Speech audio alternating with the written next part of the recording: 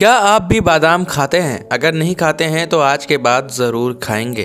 बादाम खाने के कुछ ऐसे लाजवाब फ़ायदों के बारे में आप जानोगे, जो आप बादाम खाने पर मजबूर हो जाएँगे। फ़ायदा तो बताऊँगा, लेकिन उससे पहले आप यह जान लो। किसी भी फल या सब्ज़ी और फ्रूट को खाने के कुछ फ़ायदे होते हैं तो उसके कुछ खतरनाक नुकसान भी होते हैं, जिसके बारे में आपको पता होनी ही चाहिए। वरना आपका शरीर है, आपको ही परेशानी झेलनी पड़ेगी।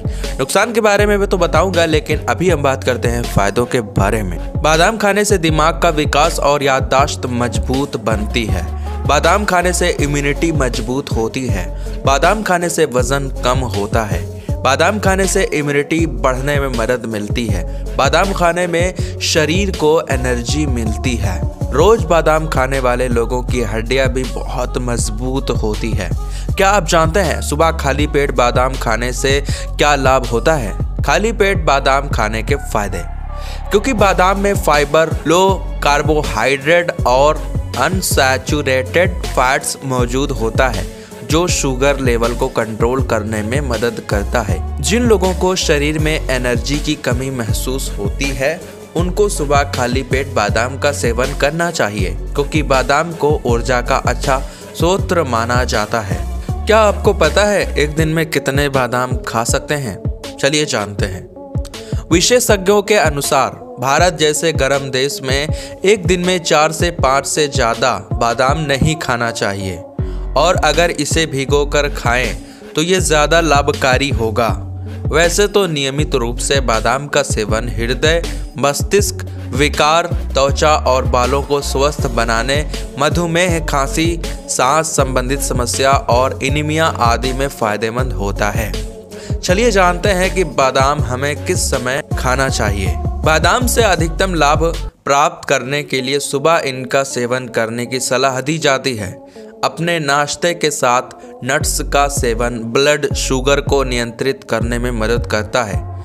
आपको तर पर रखता है और आपके मेटाबॉलिज्म को बढ़ाता है। चलिए दोस्तों, आप जानते हैं खतरनाक नुकसान के बारे में। खाली पेट बादाम खाने के नुकसान।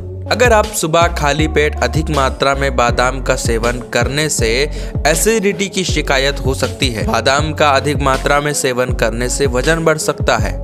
गर्भवती महिलाओं को डॉक्टर की सलाह लिए बिना सुबह खाली पेट बादाम का सेवन नहीं करना चाहिए। चलिए जानते हैं बादाम कब नहीं खाना चाहिए।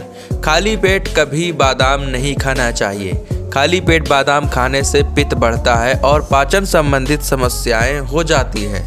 अगर खाली पेट हैं तो सब्जियों और फल के साथ बादाम खा सकते हैं। बादाम के छिलके में टैनिन होता है, जो पोषक तत्वों को अवशोषित होने से रोकता है। जब आप बादाम भिगोते हैं तो छिलका आसानी से निकल जाता है। चलिए अब जानते हैं बादाम किसे नहीं खाना चाहिए।